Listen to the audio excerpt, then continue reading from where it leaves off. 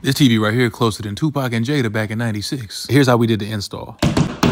Put this up there, do a test fit, measure, and then good. Now don't forget, this TV comes with this mount. Like just like I said, we're gonna put the mount up there and then we're gonna sit the TV. Oh, you got to snatch the level like that when it's perfect. Now it's time for our test fit. Hey, first time, okay. Hey, that, that, that me up now, son. You wanna push the screen back gently. Oh, he's gonna break the screen. now we're gonna mark where the power cord comes out so we can get that box perfect. In just a second, you're gonna see why I hate doing these installs sometimes. Then trace the box. Yeah, it is solid wood back there. Pause. The whole wall ended up being solid, but that ain't no problem. We're gonna get our paddle bit and then use our multi-tool. I have no idea why I did that. Once we get our obstructions out the way, we can now put our white box inside the wall. And then use this part right here to put our outlet there. Because we have an attic, we're gonna do everything from the back.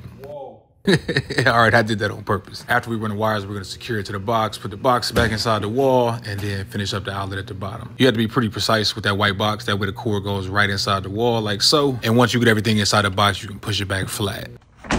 Once it's flat to the wall, you can level it out. Then after that, we're gonna rip the plastic off, and then we got some vacuuming to do. And after that, we are done. Look, look at that right there.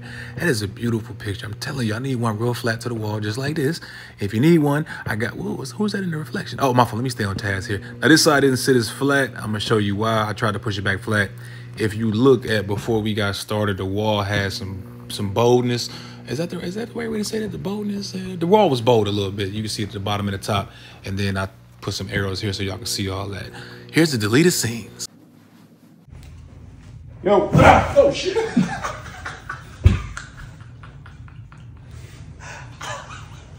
I know you're gonna do it. Pause. Relax. there it is. That's all. Whoop. you, you gotta be stopped. That makes it seem like I'm a villain or something.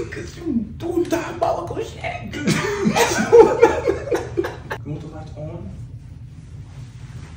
Uh, for the camera? Oh, Jesus. That's this, yeah. I got nothing. Ah, fuck. I hit the box. Yo, hey, man. Relax. Still we high sound when I hit the box. We fuck up? We. Nah, I'm gonna just check the backside. You know what? What was that noise? Hmm? That was, that was the box. That wasn't.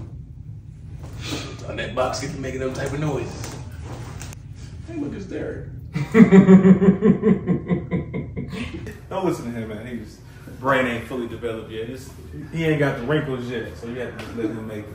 38 inches, right? Pause. Um, the, I'm childish. I'm childish. Hey, I know my car people gonna love this one right here. I can't wait to test drive the red one. Ooh.